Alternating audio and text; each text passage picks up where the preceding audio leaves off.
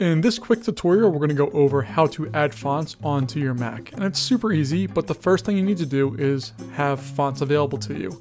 I like Google Fonts because they're free, they're readily available, and I can see exactly what they look like instantly. Uh, so you can see up here we have the ability to add categories, different languages, properties, and the categories are pretty explanatory as to what they do. I can also type in the exact text that I'm looking for uh, to see how it looks, and I can also change the size of the text.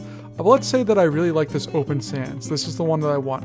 All I'm going to do is click on it, and from there I'm going to choose exactly what I want. I can select the style, I can go ahead and download the entire thing. But maybe for the project I'm working on, I don't know exactly which these exact fonts I want. I just want to grab all of them so I have options. I'm to go to the download family button up at the top right hand side, click on it, and it's going to download. Once it downloads, we're going to have to install it onto our Mac. So now back here in our Finder, we're going to go into our downloads and double click on the Open Sans zip file. Once you double click on it, it's going to open up a new folder and you'll see that we have a whole bunch of .ttf fonts.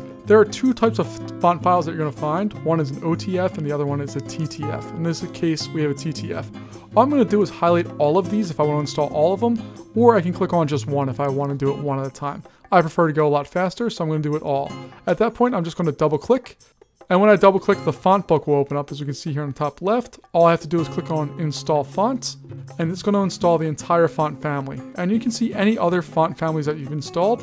When I go to Open Sans, if I click the little arrow down, I can see all of the different styles of font that I installed that are tied to the Open Sans font itself. It's a really quick, easy way to add fonts and to really spice up your creative or just your digital life in general. I hope that helps.